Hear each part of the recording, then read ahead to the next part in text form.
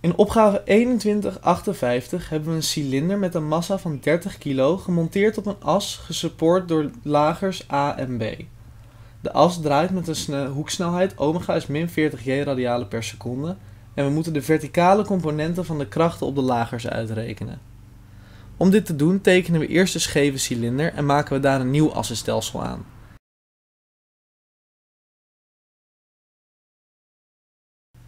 We rekenen de hoek uit die dit maakt met het normale assenstelsel, zodat we de hoeksnelheden uit kunnen rekenen. Dit is 18,43 graden en kun je uitrekenen met standaard goniometrie.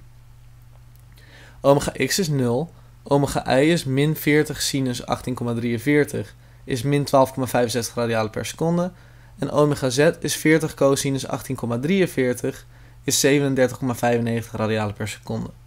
Omega x dot, y dot en z dot zijn allemaal 0 en ax, ai en az zijn dus ook allemaal 0.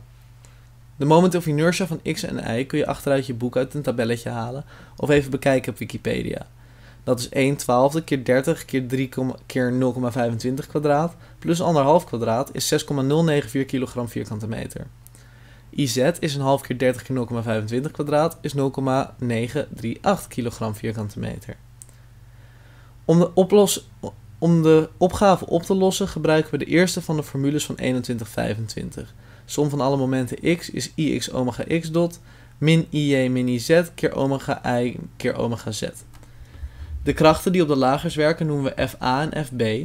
En als we tegen de klok in als positief nemen, krijgen we de formule Fb keer 1 min Fa keer 1 is 0 min 6,094 min 0,938 keer min 12,65 keer 37,95. Fb min Fa is dan 2475.